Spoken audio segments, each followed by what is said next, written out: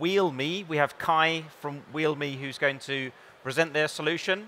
Uh, I'm not sure where Kai is. Ah, sorry. Perfect. Thank you very much. Thank you. Uh, yes, my name is Kai. Unusual, I know, in Germany. Uh, I work for the Norwegian tech company Wheel.me, uh, the company that has invented the world's first and only autonomous wheel. Now, robots are not that unique anymore. Uh, they've been around for a while, and moving things around autonomously is not particularly new anymore. In reality, the first AGVs that were meant to move around material came around in the 1950s. And they were at the time seen as revolutionary. I think everyone expected that soon all the industries are going to move things around autonomously. However, fast forward 70 years, and today the AGVs that you see running around in manufacturing facilities look pretty much the same as they did back in the day. They use a very similar technology, and while they've been replaced by autonomous mobile robots, um, for some reason companies still don't automate. Um, so one of the things is that when we go to automotive, different types of manufacturing facilities, logistics facilities, then you still see a lot of people moving things around manually. And there are millions of those people. Only in the United States, there are more than 6 million people that are moving things around in different facilities. And our question was that if there are solutions like the one on the right side here, then why don't companies automate? And when we asked the companies, then they said that robots are way too expensive, they're way too rigid, slow, inflexible, and costly. So when you would even think about implementing an AMR solution, for one thing, you need to have a huge budget. Uh, you need to readjust your facilities. Many of the AGVs still require magnetic tapes, which means that you need to predefine your routes. Uh, there is no flexibility if you need to move, uh, I mean, readjust your processes. So when Wheel.me got started, those were the things that we were trying to fight against. And uh, we decided that it's not enough to improve the existing technologies, but we needed to do something different. So we needed to have a different kind of approach. And that's where the autonomous wheel came. So the company itself was founded in 2013. The first autonomous wheel came out in 2018. We've gone through quite a progress, so the product has changed quite a lot. So this one that you see on the stage, this, this one is one of the units, and I think there's one moving over there. Um, but by today, we have reached the production version of the product, so this is what we are installing at customer sites. But in principle, what we do with the autonomous wheel is that we attach it to existing objects. So anything you would need to move around in your facilities, whether it's different types of trolleys, racks, whether you want to move around tables, TVs, anything that you would need to move around, we can attach the autonomous wheels to it. So it can be big, it can be small, it can be light, it can be heavy. Uh, so it's much more flexible than other solution out there. It also navigates fully autonomously. So differently from AGVs, we do not need any kind of magnetic tape.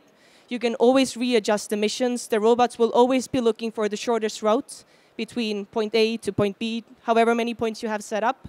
So it's, uh, it's definitely the flexibility that differentiates it from all the other solutions out there. It is also the cost effectiveness. So the goal for us was to offer a solution that companies could actually afford. So that comes down to the business model, but in general, the whole product has been designed to be cost effective for companies and bring a return on investment. It is also minimal maintenance, and it's very effortless to install. So uh, all the units have a hole pattern on top of them. There is uh, often an adapter that is in between there, so there is this small white adapter in between. Uh, and by that, we can attach bolts uh, to connect the object to the autonomous wheels. Uh, our business model is robotics as a service, uh, which is part of the cost effectiveness and which is part of the low maintenance. So companies pay us a monthly fee, and by that they get the robots, they get all the hardware that would be needed, including the charging stations, everything. They get the software that we have built in-house as well, all the navigation, and they also get the maintenance and the service level agreement. And in terms of maintenance, um, it includes, of course, the on-site support, the remote support, but a lot of the things have been also made in a way that it would be easy for the company to do it themselves. So with a lot of AGVs, you need to have a dedicated maintenance person on site. It's not the case with this. Uh, I'm not a mechanics engineer myself. I can change the robots myself. I can take out the wheel. If that breaks down, I can switch out the robot. Now this one that you see over there, that one is the main unit. So the wheels go in configurations of four. So in reality, to move around, you need four wheels. There is always one control unit. So that one is equipped with a computer. It has a camera in front that we use for navigating, that we use for localizing. If you see, then it's tilted a bit upwards. So we work in a lot of dynamic environments, which means that things move around. A lot of robots struggle with that. It's tilted upwards, so we use structures in the ceiling, which means that most companies don't change their ceiling too much. So our robots are always able to find markers up there to localize to see where they are, where they need to go. It also has a LiDAR both in the front and in the back. So if you have people moving around, if you have other robots moving around, then the robot will either stop if you're getting too close to it, or it will navigate around. So it's perfectly safe to move around people. It is certified in the EU already as well. Uh, we do use a Mecanum wheel, uh, so that is part of the invention itself. Uh, the whole autonomous wheel, it is patented by us. Everything that we could patent, we did. Uh, this is uh, one of the founders, uh, Rolf was the guy who created this. So the Mecanum wheel with a built-in motor, so that is the key to the autonomous wheel, basically. And once you've installed the wheels, you've kind of attached them to the objects, everything else takes place in the software. Uh, so uh, normally when we start, then we create an initial map. So also over here, we mapped out the area over there in the fast forward booth. Um, if you have the map, then you can start creating missions. So basically the robot will be moving between different stations. A very traditional one for us would be to move components uh, from the supermarket area to the assembly line, for example.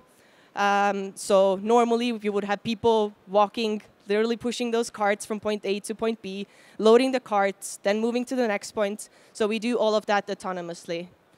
Um, the app itself, it's also very easy to navigate, so you don't need to be a software engineer to do it. It is perfectly fine for the people who work in the warehouse to navigate with it. You can always press next goal on it. You can see everything with, that is happening with the robots. But in an operational environment, if you don't want to use a mobile device, then you can also press next goal on this analog remote control over here. In terms of existing use cases, we do we work cross-sectoral, but our biggest focus right now goes for automotive. That is where we see the biggest benefits. Uh, but it is a lot of different objects. We put the wheels on top of hospital beds as well. Um, we put the wheels on top of different kinds of racks, trolleys, dollies like the one here. Um, and we have the wheels running in operations. So uh, early on, we got some very good companies on board in the US from automotive sector. So it's different objects with different weight loads, um, weight capacity. Um, we are installing in the US, in Germany, Spain, uh, and Ireland right now. So it is very exciting times for us. Uh, we are scaling up very quickly. So we are producing the robots in Norway. So we have our own production uh, facility in Fredrikstad, uh, which is an automated production line so uh, once we reach the full capacity, which is next year, then we will produce one robot every 90 seconds. So it's 80,000 wheels per shift per year. If needed, we can quickly scale up to three shifts. Uh, and yeah, we're going global very quickly. First office internationally opened two months ago in Detroit.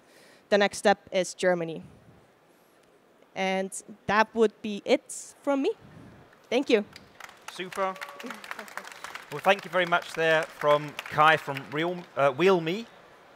Uh, a great presentation. It's a, a, very interesting and exciting technology, and uh, the use of ceilings, I think, as a, as a waypoint, as you say. Um, yep. I've never seen a ceiling be changed in my life, yep. so I think that's a very good choice. Exactly. Now it's obviously an opportunity for our audience and uh, jury members here in the front row to pose a few questions. We've got Leon here who's uh, looking after us. Maybe start here on the left. What is the maximum load uh, that four wheels can handle?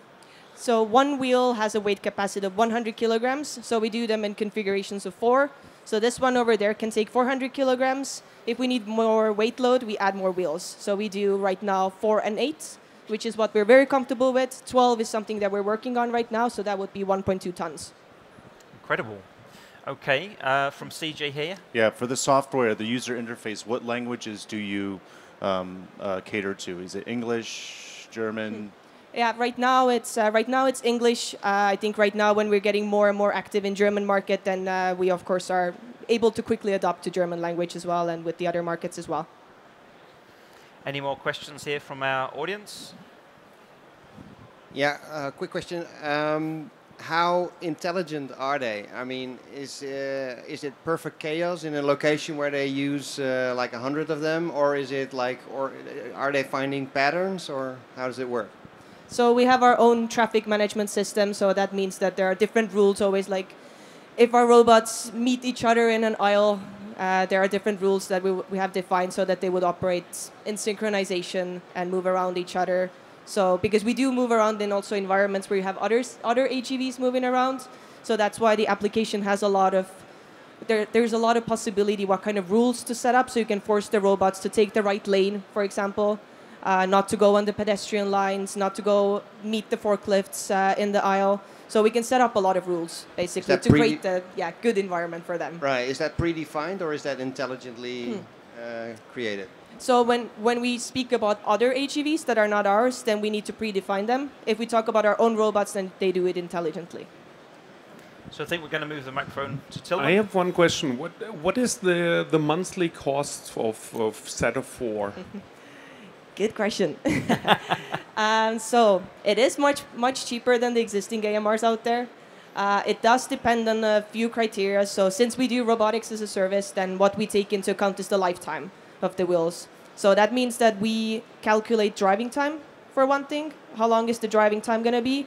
What are the floor conditions? Because of course the wheel does have certain limitations in terms of floor conditions. So it's very rough floor conditions. We need to take into account that the price needs to be a bit higher because we need to give you more spare parts.